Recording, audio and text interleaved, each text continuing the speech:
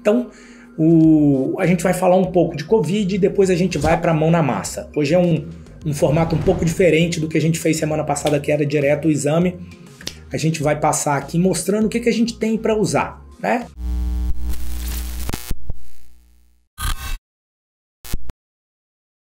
A gente tem o bom e velho raio-x de guerra, que é crítico, né? O cara não pode sair da faculdade sem estar seguro para interpretar uma, radiografia de tórax. Ah, Rodrigo, se apertar eu peço tomo. Você precisa saber os principais padrões e a gente vem trazendo isso ao longo do, do tempo aí com os quiz. Então, o que você vai ver na radiografia, naturalmente, é um, um, um volume de doença maior do que o que você vê na tomografia. Então, para você chegar a ver na tomografia, você tem que ter um volume de alteração maior. O termo técnico para dizer isso é que o, a, tomografia, a radiografia de tórax é menos sensível do que a, a, tomografia. E aí faz sentido, né? Um exame, um é tridimensional, o outro é bidimensional. Aqui na tomo você tira a sobreposição das imagens, então você está conseguindo ver com muita clareza, é, corte por corte, é, de anterior para posterior. Então você melhora muito a sua análise. Mas quando a gente está falando de Covid, a gente não está falando Covid só dos pacientes. Às vezes o paciente não tem como se deslocar, está na UTI, você precisa de uma avaliação rápida. E aí o ultrassom à beira do leito. Se vocês estão acompanhando o canal do Instagram, vocês têm percebido que a gente lançou uma nova uma nova uma nova série que chama Esteto do século 21 onde a gente tem trazido aspectos básicos de ultrassonografia.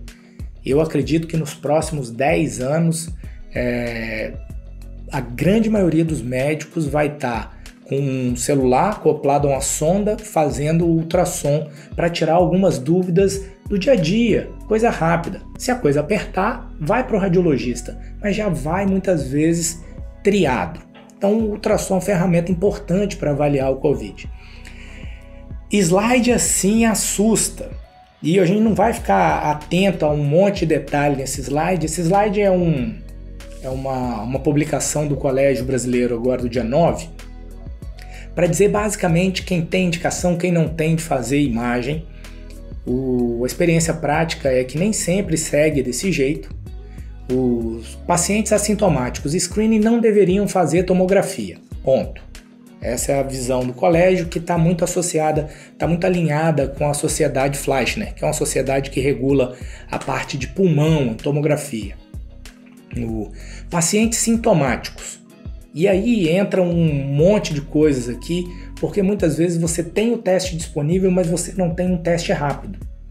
E a tomografia é praticamente instantânea. Para você fazer um tórax sem contraste, você demora 10 segundos. Você demora mais para cadastrar o paciente, para deitar o paciente na, na maca do que para fazer. Então, basicamente, resumindo toda essa, essa publicação do dia 9, o, pacientes com clínica, alterações clínicas moderadas a grave, ou seja, paciente que está desaturando, está fazendo hipóxia, saturando menos do que 92, esses pacientes têm indicação de fazer tom.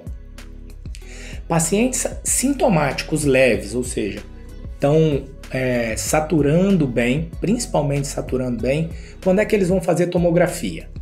Eles vão fazer tomografia se eles tiverem fator de risco de gravidade de doença. Hipertenso, coronariopata, asmático, é, idoso maior que 65, esses pacientes têm indicação porque a doença pode evoluir rápido neles. E aí ele, o, o, colégio sugere que se avalie aqui se o paciente é IgM positivo ou IgM negativo, o, mas a grande maioria dos lugares não tem o teste rápido. Então, para você que está lá na frente do combate atendendo, às vezes é difícil. Você vai fazer o teste e vai esperar dois dias para saber. Então, acaba que nesses cenários onde você não tem o teste rápido, a tomografia te ajuda a quantificar a carga, ver se tem uma alteração compatível com o Covid ou se o diagnóstico é completamente diferente. Isso pode mudar a sua abordagem. Então a gente tem visto, quando não tem acesso ao teste rápido, é, utilizar a tomografia, embora é, não, não haja um endorso assim por todas as sociedades disso, mas a gente percebe pacientes chegando nesse cenário. Mas a tomografia vai avaliar o quê? A tomografia vai classificar os achados em típicos, indeterminados, atípicos e tomografia negativa. Então vamos dar uma andada nisso aqui.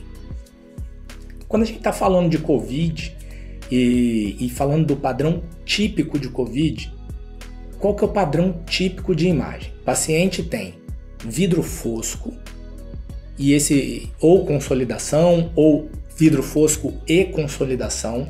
Esse vidro fosco ele é bilateral e ele apresenta um gradiente ápico basal. Rodrigo, o que, que é isso? Você tem o vidro fosco, bilateral, predomina na região posterior e tem um gradiente ápico basal. O que, que é o gradiente ápico basal? É pior à medida que você desce. Aqui você tem o diafragma, a base do pulmão, aqui você tem o ápice do pulmão. Então, à medida que você desce, você tem mais doença. Isso é gradiente ápico basal. Anota esse termo, guarda esse termo na sua mente, porque isso é muito utilizado para outros padrões de doença intersticial. Quando a gente está falando de fibrose pulmonar, algumas fibroses apresentam esse padrão de gradiente ápico basal predomínio posterior. Não tem a ver com isso aqui, não parece com isso mas você vai ver isso em outro momento. Então esse termo gradiente ápico basal, ele não é só para o COVID.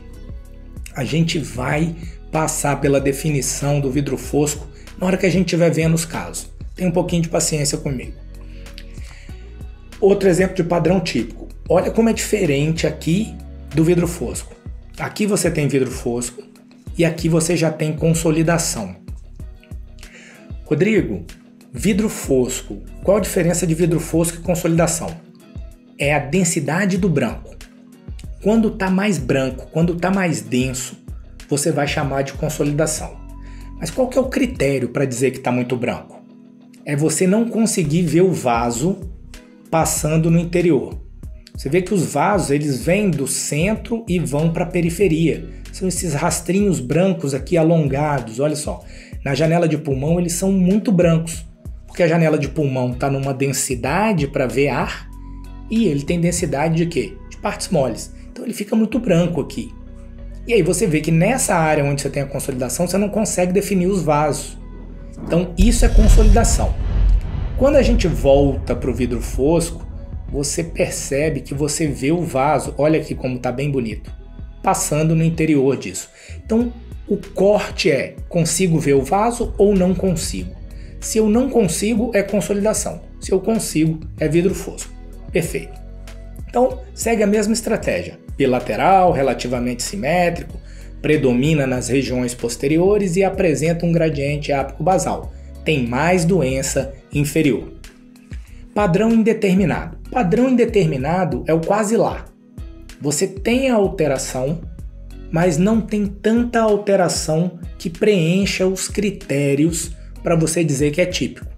Então, nesse caso aqui, o que, que você tem? Você tem vidro fosco com um halo de consolidação, mas você só tem essa lesão no, no segmento superior do lobo inferior. Você não tem a bilateralidade, você não tem gradiente ápico basal e você não tem, naturalmente, pela bilateralidade, múltiplos focos. Você só tem um. Então, padrão indeterminado. Pode ser COVID, pode não ser COVID. Mas daí você já sabe que a carga é pequena e você vai isolar esse paciente. Nem tudo que é vidro fosco é COVID. Então, o objetivo disso tudo era mostrar isso. Aqui a gente tem consolidação, a gente tem vidro fosco. Aqui a gente tem vidro fosco, consolidação, vidro fosco no centro, consolidação na periferia. Isso aqui é o sinal do halo reverso. Tá? Isso é muito descrito, embora não seja específico, é muito descrito para pneumonia em organização, a, a antiga BUP, né? O... E para mostrar que na radiografia, às vezes as alterações são mais difíceis de ver. Você tem que estar tá atento, mas você vai procurar o quê?